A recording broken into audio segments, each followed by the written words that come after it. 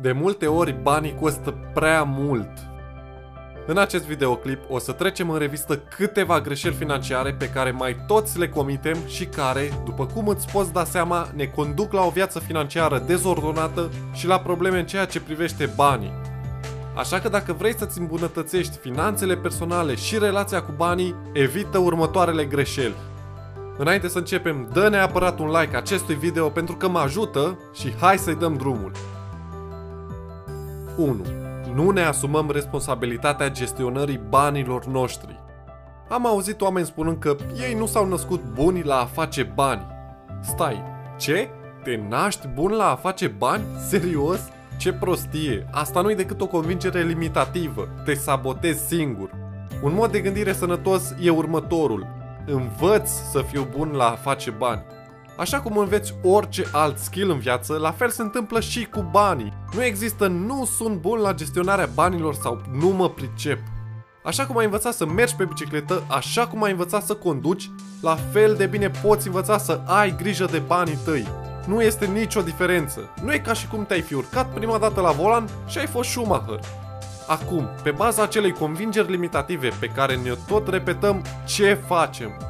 Ne aruncăm banii altor persoane sau instituții în speranța că ne vor lua de pe umeri povara administrării lor. Însă, dacă mă întreb pe mine, asta e o taxă pe care ți-o impui tu singur, pe lângă comisioanele percepute de cei cărora le încredințezi banii tăi. O taxă pe ignoranță și vei plăti scump. Poate pe termen scurt nu vei simți prezența și efectul comisioanelor, însă pe termen lung vei fi surprins neplăcut de porția pe care acestea și iau din tortul tău. Așa cum îți plătești singur facturile și îți faci singur cumpărăturile, gestionarea banilor este la fel de bine responsabilitatea ta. Suntem cu toți de acord că banii reprezintă o parte vitală a vieții noastre, subliniez vitală. Nu poți trăi fără bani. Gestionarea banilor este un skill care se învață. Nu ai nicio scuză. Punct. 2. Ne bazăm exclusiv pe o singură valută. La un moment dat, în timp ce urmăream o emisiune la televizor, a apărut următoarea știre.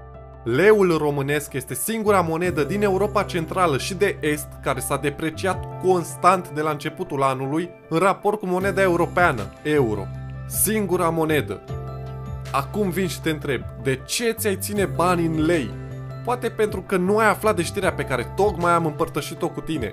Însă nu e niciun secret că leul își pierde constant din valoare în raport cu euro. Pe lângă asta, o altă știre spune că o depreciere continuă a leului pe următoarele 6-12 luni este de așteptat.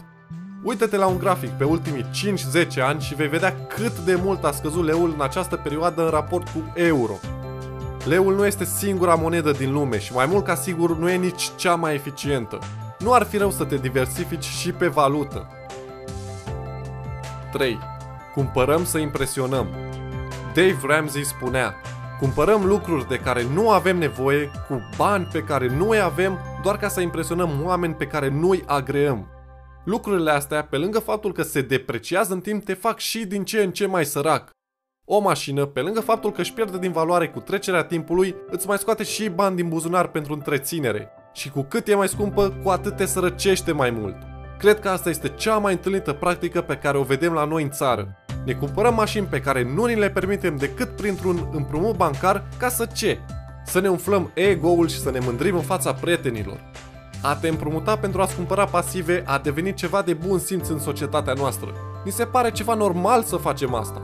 Însă fii sigur că aceasta nu e calea spre bogăție sau spre o sănătate financiară sustenabilă.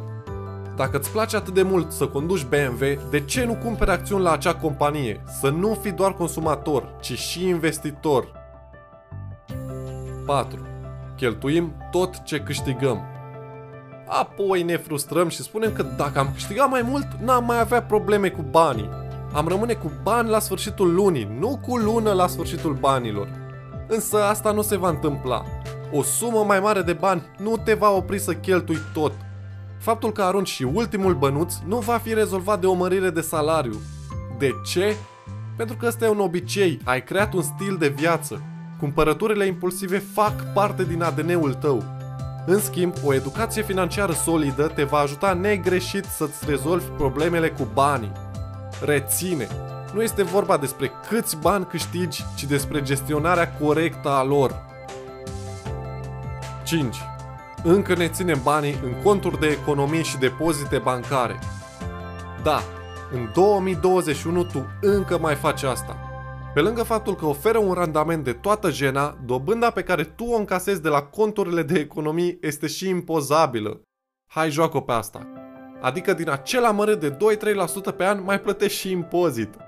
Banca îți oferă ție un randament minuscul, în timp ce ea împrumută banii tăi cu o dobândă de 5 ori mai mare. Ce mișcări inteligente! 96% din averea românilor este blocat în depozite bancare și imobiliare. Asta este toată educația financiară pe care noi ne bazăm și ne mai întrebăm de ce avem probleme cu banii. 6. Ignorăm instrumentele de investiții. Bun, am înțeles. Bursa de valori este riscantă și crezi că este un joc de noroc. Acțiunile sunt prea volatile și nu ești dispus să-ți asumi riscul. Dar mai sunt și alte active în care poți investi. Îți expun rapid câteva. Titlurile de stat, obligațiunile corporative, obligațiunile municipale, asigurări de viață cu componentă investițională, nu recomand, mărfuri, etc. Toate aceste active financiare îți oferă randamente mai mari decât depozitele bancare și conturile de economii. Însă, îți oferă ele randamente peste rata inflației. Sincer să fiu, în acest moment, cu inflația undeva la 8%, Uh, nu. Tot pierzi bani, însă e un pas înainte. Poate în cazul unor obligațiuni corporative să obții randamente puțin mai bune decât inflația. Conform unui studiu, averea oamenilor din depozite bancare crește invers proporțional cu educația financiară și viceversa. Cu cât oamenii sunt mai educați financiar, cu atât deschiderea către instrumentele de investiții este mai mare. Implicit, cu atât au o viață mai prosperă financiar. De ce să începem să investim? Păi, hai să-ți enumăr câteva motive.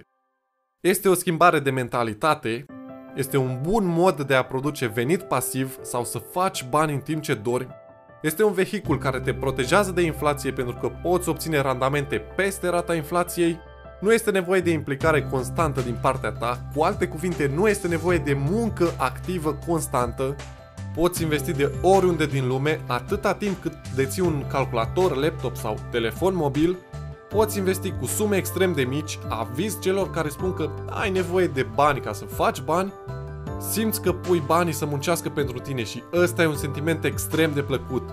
Nu mai muncești doar tu pentru ei. Mă opresc aici, poate te-am convins. Sunt curios tu câte din aceste greșeli încă le repeți sau le-ai făcut în trecut, așa că lasă-mi un comentariu mai jos. Sper că te-am ajutat cu acest videoclip și dacă ți-a plăcut, lasă un like, un comentariu și dă-l mai departe ca să-l vadă și prietenii. Mulțumesc!